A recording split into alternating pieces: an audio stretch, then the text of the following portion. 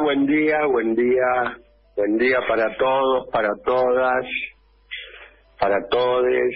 Buen día, buen día, buen día. Bueno, eh, Cristina Esperón, ¿cómo Luis? Que Cristina Esperón, Esperón, es una líder femenina pero de la magnitud del general Perón. Por eso no me extraña que Cristina reciba los mismos odios que, que recibió Perón. El irracional odio de la derecha gorila de este país, oligarca, proimperial, Soreta, Soreta. Miren, yo formo parte de un colectivo que me pasé la vida en las calles pidiendo pan, paz, trabajo, justicia. Cuando no era por los compañeros detenidos desaparecidos, la huelga era por aumento de salario, de jubilaciones, siempre del lado de la justicia social, siempre del lado de la vida. Y nos cagaron a palos cien mil veces. Ayer, Clarín y Cambiemos organizaron una marcha que fue un fracaso total, total, ¿eh? Fracaso total. Y esa marcha, muchachos, compañeros, compañeras, compañeres, repito, fue un fracaso total. No hubo nadie en la marcha. Los hijos de puta del grupo Clarín, y ojo que tengo mucho respeto por las putas, del grupo Clarín mostrando movilización en Córdoba, miraba y había 40 personas, movilización en Tucumán, miraba si había 50, movilización en Salta, 30 personas, en el obelisco, ¿cuánto había? Mil personas con mil autos. Es más, te redoblo la apuesta. Dos mil personas con dos mil autos. No hubo nadie. ¿Y sabes qué, Manieto? Te lo digo en la cara. Me alegra. Me alegra que con semejante aparato comunicacional, 236 licencias de medio de comunicación, actuando al unísono, no han podido hacerle la cabeza a nadie, no les cree nadie, nadie. Por eso es bueno sacar conclusiones. La verdad, rindo mi homenaje en el día de hoy a los 60 compañeros médicos, enfermeras, asistentes, escuchá, ¿eh? Que perdieron la vida en la lucha contra el COVID-19. Ayer promovieron irresponsablemente el contagio, provocando una situación tremenda. ¿Hubo alguna policía de la ciudad, alguien que intentara dispersar profesionalmente? Sí, claro. La manifestación. No, muchachos. La Argentina es así. Es así, hay un grupo que hace lo que se le canta el culo. ¿Cuántas manifestaciones nuestras? Sin ir el otro día, la de Santiago Maldonado.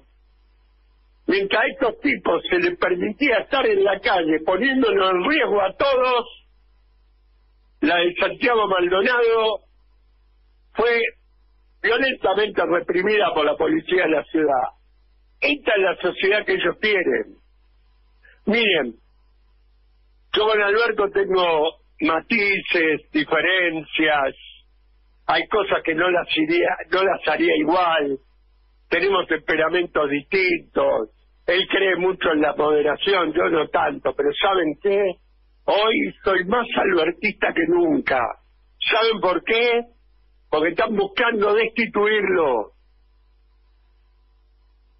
Destituirlo. Fíjense, convocaron convocaron a la marcha contra la cuarentena y en el medio de la marcha cambiaron el eje y era contra la reforma judicial. ¿Qué es esto? ¿Qué es esto? ¿Qué es esto? Le llaman chorra Cristina. Estos tipos que tienen un líder que hoy está en Saint-Tropez, en la Ribera Francesa, cagándose de la risa de todos nosotros, que endeudó el país en 177 mil millones de dólares, y que él, Niti Caputo y todos sus amigos, todos sus amigos, jugaron del país 86 mil millones de dólares. ¿Quién son los chorros?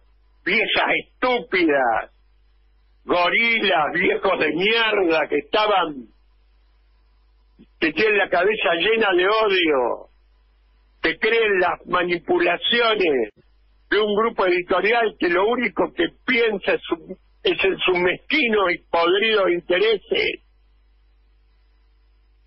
Atrás de esta marcha está Mañeto, Roca, Bulgeroni, Acevedo, Roemer, todos ellos, los millonarios de la Argentina, que no son dueños de medios de producción solamente, son los grandes tenedores de títulos de la deuda externa argentina.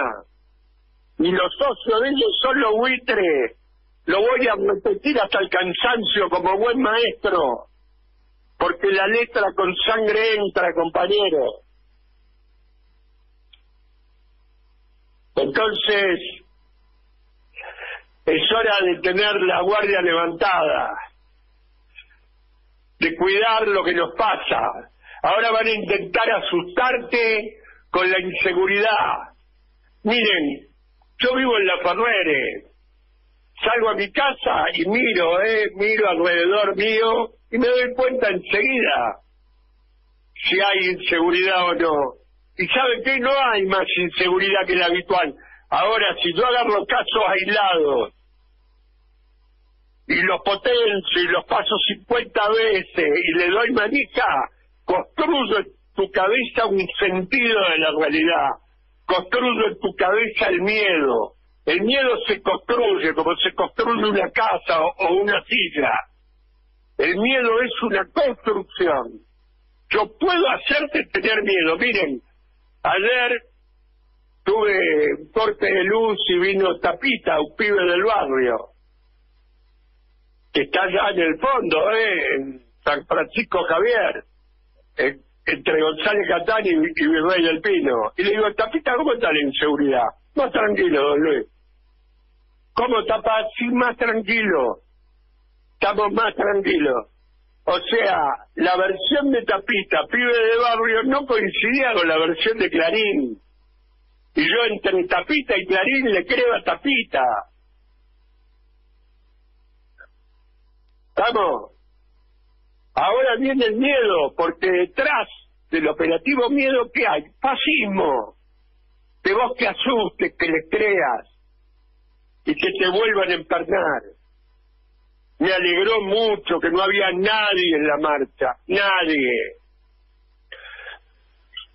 Yo ya me preguntaba para las paso hace un año, ¿qué pasa?